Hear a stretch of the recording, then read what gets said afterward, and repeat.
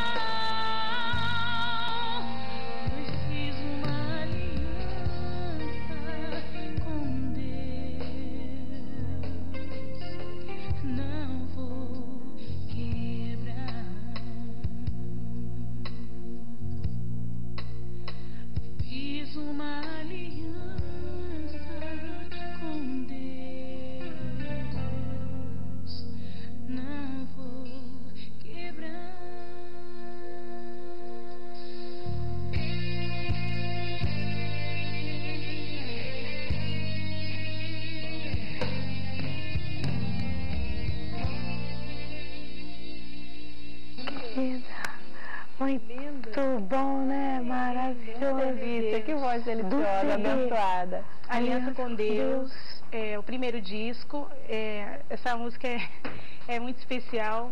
Eu me emociono algumas vezes com ela, não tem como não chorar, né? Porque eu lembro dessa aliança de Deus conosco, né? A aliança do Senhor com a gente. E eu decidi fazer uma com Ele, né? a respeito da minha vida, da minha voz de dar a minha vida para Ele é, como missionária cantora, né? Eu sou uma missionária cantora, eu me considero assim. E eu, eu quis cantar essa canção e oferecer essa canção para a Áurea, né? Que está uhum. aqui. E eu queria dedicar essa música também para todos aqueles que têm uma, uma aliança com o Senhor, os missionários, né? O missionário que está dentro da sua casa, o missionário que está na rua agora, dentro do seu táxi, o taxista, né? O, lembrar dessa mulher que está agora em casa ouvindo uhum. a gente e está dizendo exatamente isso com o Senhor. Senhor, eu fiz uma aliança uhum. contigo e eu não vou quebrar. Uhum. Então, assim, eu vou me manter aqui como é, essa pessoa que vai fazer missões dentro da minha casa, uhum. missões com meu marido, missões com meu filho, que ainda não enxergar a luz da salvação. Verdade. Né? Verdade. Ainda ontem nós tivemos um, um testemunho a respeito disso. É, nós fazemos campanhas né, para a salvação dos esposos e do, dos maridos. E uma irmã foi testemunhar ontem falando disso, ela já é casada já há bastante tempo, e, e evangélica, ela falou assim, olha, eu me converti na campanha, porque a pastora, nós combinamos de, de orar durante 40 dias pelos esposos, e disse, olha, vocês vão ler a Bíblia todos os dias pela manhã, vocês vão orar, vai chamar o marido, os filhos, vocês vão orar, e você já vai falar com seu esposo como se ele crente já fosse, você vai dar a paz do Senhor para ele, e, ela, e ontem ela dizendo, olha, o meu esposo, é, ele se converteu. Glória a Deus. É, e eu quero dizer, pastor, que mais do que isso, eu me converti, uhum. porque eu não li a Bíblia dentro da minha casa, eu não orava com meus filhos, né? E então, assim, para a glória do Senhor, né? E é isso que a gente está falando, fazer missões dentro do nosso lar. Uhum. Muitas vezes a gente quer viajar, ir para outros países, né? Uhum. É, e, e achando que que, como até um, um pastor esse fim de semana já ele estava dizendo, achando que quando você desce do avião no país, você vira missionária. É um som é. de missionária cai no momento que você é. desce do avião. Né? E não é isso, hum. né? A, nós precisamos pregar ali na nossa Jerusalém, na nossa Samaria. É, sabe?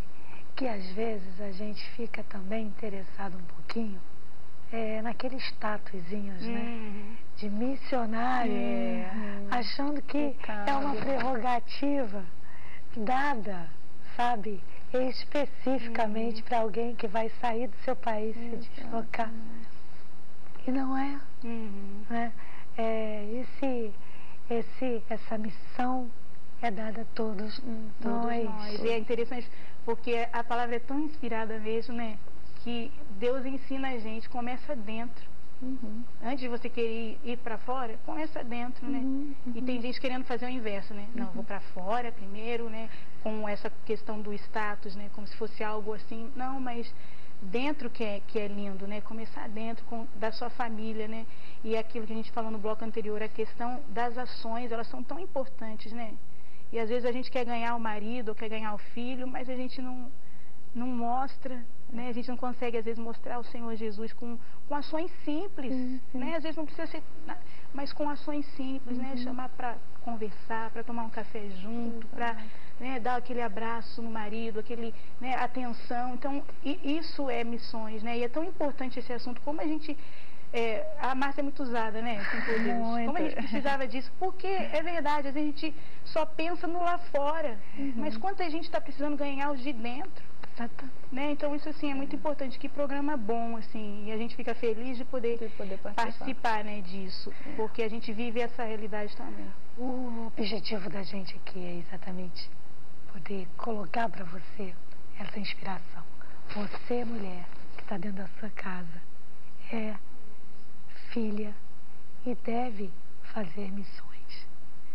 E eu acho muito lindo que existe uma versão, se você for pegar o texto bíblico no original, você percebe que o texto bíblico, quando Jesus convidou aqui todos nós fôssemos e fizéssemos discípulos, ele disse assim: ide e fazei discípulos. Se você for pegar esse texto, esmiuçar, e lá no original dele, Jesus não estava chamando você para ir e fazer xerox de você ele disse assim: a palavra para ir fazer discípulos é ide e erguei as pessoas. Então, fazer missões é isso, é, isso, é erguer as pessoas. Verdade. É? Então, esse é o nosso convite para você que vai permear toda essa caminhada aqui. Uhum. Agora eu quero que você acompanhe o quadro Corta na Tela.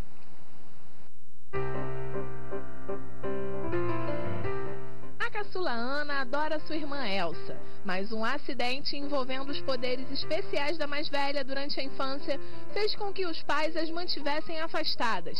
Após a morte deles, as duas cresceram isoladas no castelo da família, até o dia em que Elsa deveria assumir o reinado. Com o reencontro das duas, um novo acidente acontece e ela decide partir para sempre e se isolar do mundo, deixando todos para trás e provocando o congelamento do reino. É quando Ana decide se aventurar pelas montanhas de gelo para encontrar a irmã e acabar com o frio. Será que as duas irmãs vão se reconciliar e enfrentar isso juntas?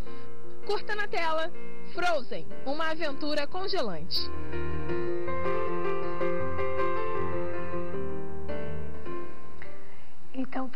Nosso assunto de hoje, no tema família, a pergunta: como minha família pode fazer missões? Com a pastora querida Simone Chaves e a adoradora, missionária, Sara que Xeregato. Essa nossa conversa aqui é muito relevante, porque, pastora Simone, uma das coisas que Paulo fala em suas cartas é que Deus nos deu um ministério. E para todos nós, como igreja, que é o ministério da reconciliação. Isso é fazer missão. Uhum. Então, o tempo todo, quando eu me dou conta que Deus me deu o ministério da reconciliação dentro de casa, eu estou fazendo missão. Uhum. É isso? É isso, é isso. E nós temos que, que pensar muito nessa questão, Márcia. É, eu estava lendo, tô, estou lendo um livro é, de Spurgeon, né, lições aos meus alunos, e ele diz o seguinte, que existem pessoas que são tão boas no púlpito da igreja é, que não deveriam sair de lá. Porque quando elas saem, elas são tão ruins que não é, deveriam voltar para lá. Né? Né? É, isso fala muito das nossas ações, porque é isso que a gente está falando aqui. É, muitas pessoas pensam assim que eu só posso ser missionária se eu ganhar, se eu for uhum. ordenada uhum. a missionar. Na verdade, é, é todos nós, todos né? Nós. É uma comissão que todos nós uhum. temos de fazer. Então, é falando, é sorrindo, é sendo, é, como a Márcia a gente estava falando aqui no intervalo, é dirigindo o nosso carro, fazendo missão. É. Né? No engarrafamento, no momento em que o outro te corta e te dá uma fechada. Ali você pode ser um missionário ali ou não, é né? Você pode escandalizar uhum. também a, a, palavra. Então, a escolha é nossa. É, tem eh, várias maneiras de nós fazermos missões, uhum. né? É, com os nossos vizinhos, dentro até da nossa própria igreja. É, né? Por exemplo, a sua casa, na sua rua, é conhecida como? Uhum. Seu apartamento. É referência de quê, né? Verdade. É conhecido como? Uhum. A pessoa, que pessoa acolhedora, que pessoa gentil, que pessoa, é uma grande uhum. ferramenta para se levar a Jesus. Porque quando olham para você, Jussara, em todas as áreas da sua uhum. vida, as pessoas têm uma sede nesse olhar. Uhum. Quer ver Jesus? Verdade. Uhum. E a gente tem que mostrar, alguma coisa a gente mostra. Né? Sim, ou de bom ou de ruim, é, a gente sempre a gente vai sempre mostrar. Mostra, a gente né? sempre é referência de, é, né, de alguma, de alguma coisa. coisa né? É importante mesmo é, esse, essa questão da comunidade, né? Como é que elas, como é que as pessoas nos observam? Porque uhum. dentro da igreja é fácil, né? Uhum. Estar dentro da igreja, falar dentro da igreja é mais fácil, né? Mas lá fora, né? Num, quando eu vou na padaria, né? Quando eu vou no mercado, quando eu estou em algum lugar, eu me lembro que eu passei uma situação muito engraçada. Eu fui num eu, meu CD demorou para chegar no Rio e eu fiquei muito brava e eu fui lá na transportadora buscar pessoalmente com o motorista. E eu cheguei na transportadora e o CD não estava e eu fiquei brava demais. Mas isso para ver, foi uma lição para mim. E aí eu, eu fui para o escritório acima e o diretor, não fica calma, dona Jussara, o seu CD está chegando. Eu falei, não, como pode? Eu brava, brava. Daqui a pouco uma pessoa se levantou e falou, eu, eu conheço você? Você, você não participou de um grupo? Olha só. Uhum. Eu falei, meu Deus, as pessoas elas nos observam, é. elas veem a é gente. A multidão, né? A multidão, o que, que a gente está fazendo, né? uhum. né? É claro que aquela pessoa, ela conhecia o grupo que eu fazia parte, mas e se ela não conhecesse também, né? Eu estaria falando alguma coisa com a minha atitude, né? De brava, nervosa, eu pelo eu estava num direito, mas eu poderia ter agido de uma outra forma, uhum, né? Então assim, as pessoas elas estão sempre olhando pra gente, né? E isso fala muito. Uhum. Isso conta muito, né? A postura, o que a gente prega, né, o que a gente canta, né? Eu falei que Deus é meu dono, acabei de falar que Deus é o meu dono aqui, aí quando eu desço do, do altar que eu acabei de cantar, eu faço alguma coisa que mostra que Bom, Deus não, é meu Deus. Ué, mas né, não condiz. Então, assim, a gente tem que tomar realmente muito cuidado. Isso, isso, isso é relevante, porque assim, é, quando é, a gente não entende muito bem a, o, a fala né, do Evangelho, uhum. muitas vezes cai como uma luva a atitude. Uhum. É, que ela vem como o suprir de algo que vai para além das palavras. Uhum.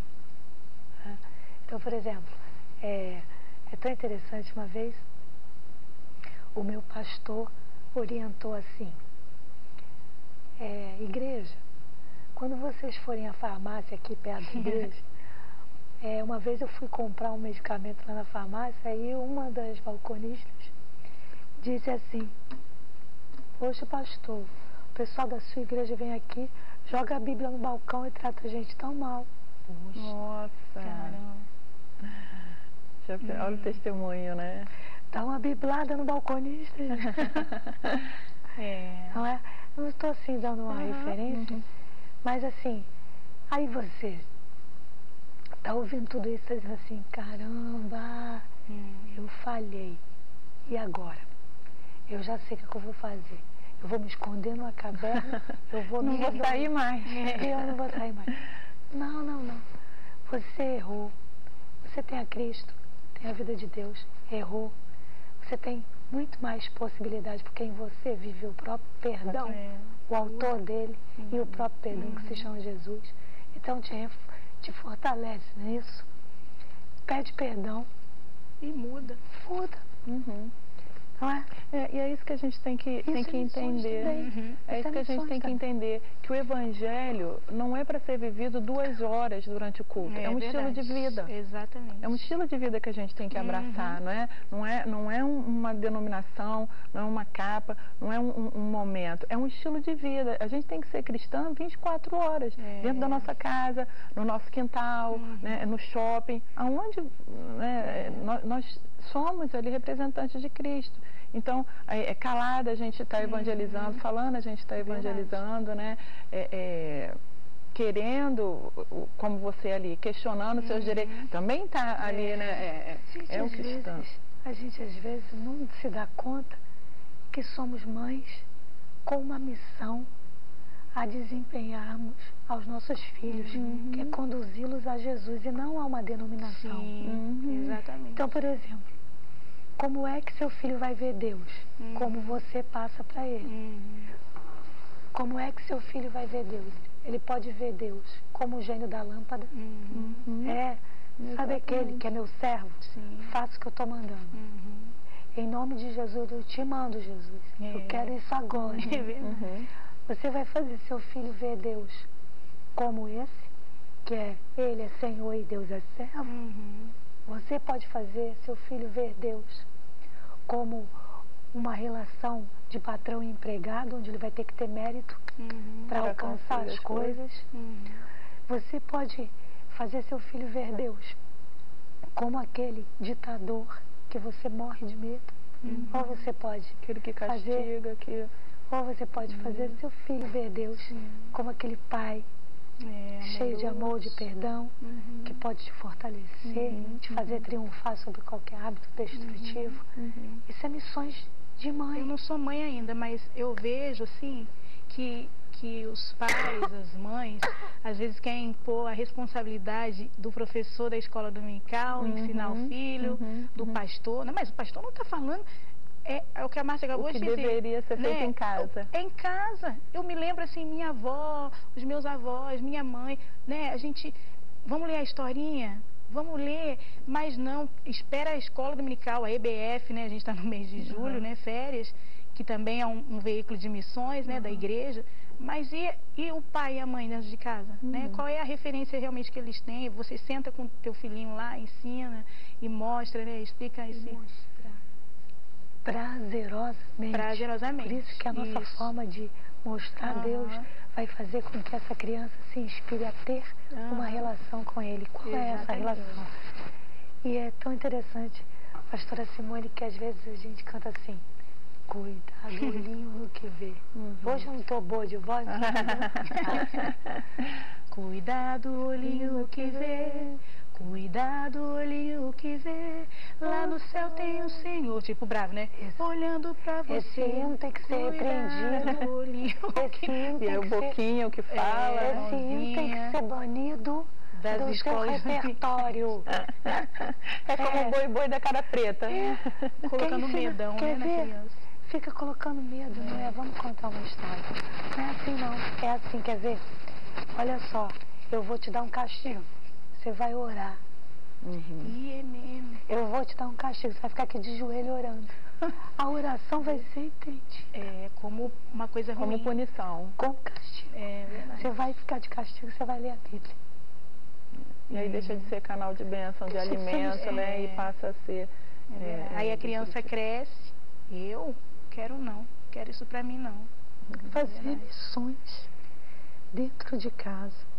É um desafio. Por que dentro de casa? Porque são os nossos que vão lá para fora. Uhum.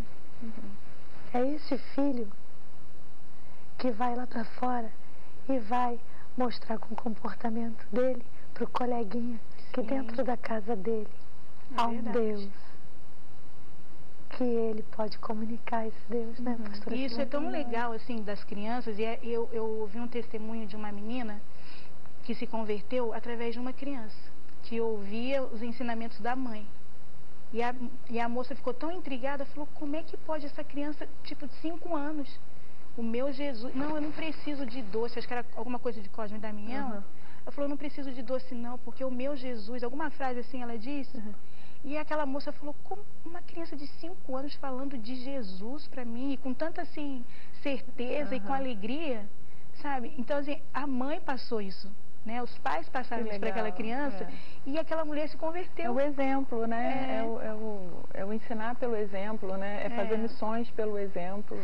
A igreja, pastora Simone, que, que é só uma partezinha de toda uma outra igreja grande é, que, que, você uhum.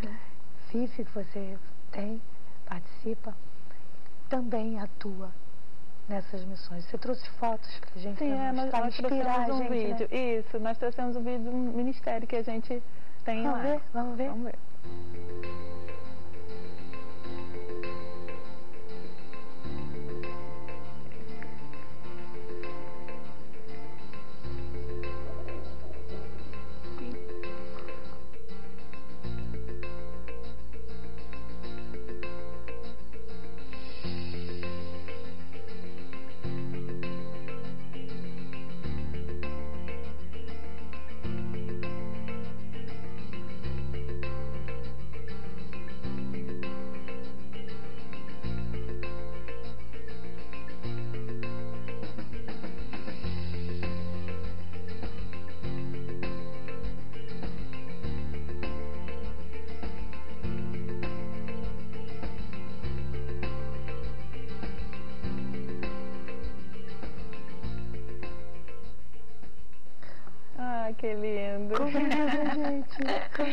é, então, nós, nós trabalhamos com é, a nossa igreja com especificidade. Né?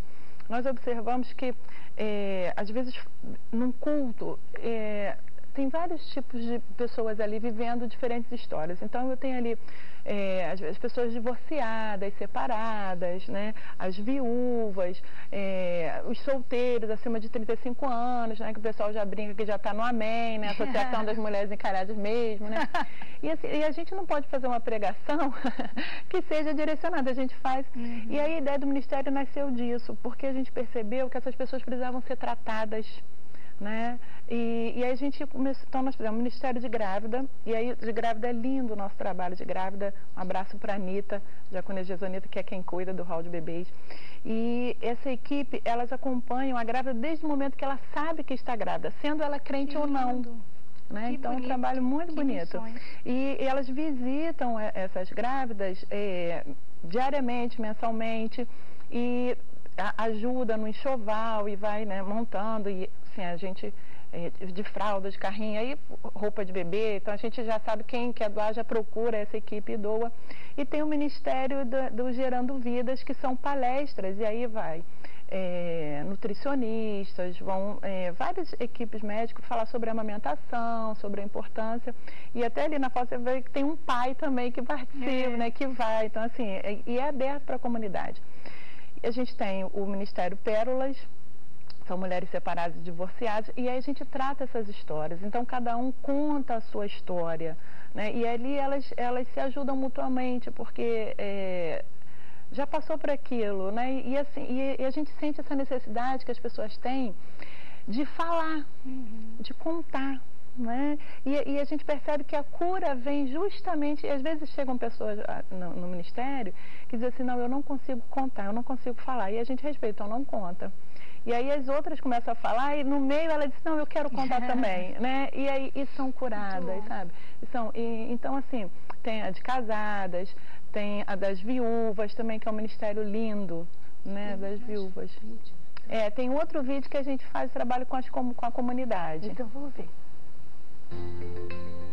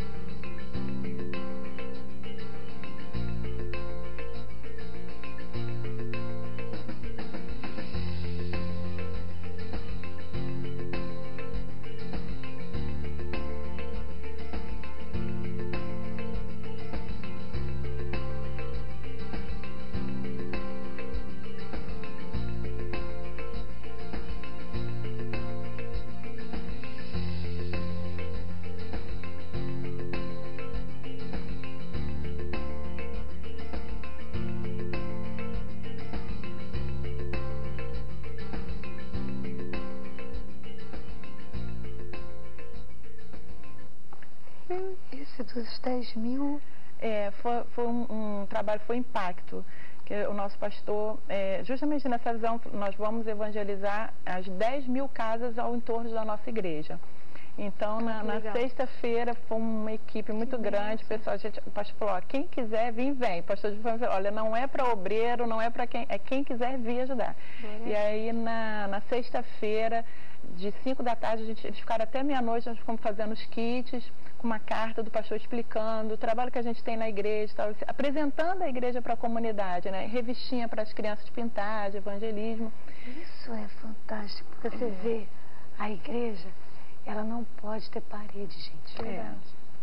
Ela não pode estar fechada dentro da uhum. comunidade. A igreja tem de ser relevante socialmente. Uhum. Exatamente. Ela não pode estar, assim como a sua casa, que é uma igreja. A igreja não é um prédio, a igreja é você. Exatamente. Você é um culto ambulante. Você é a própria igreja. É, é, é a igreja. Você não pode estar enclausurado. Você tem que ter contato com as pessoas. É. A gente continua esse bate-papo daqui a pouquinho, depois do intervalo.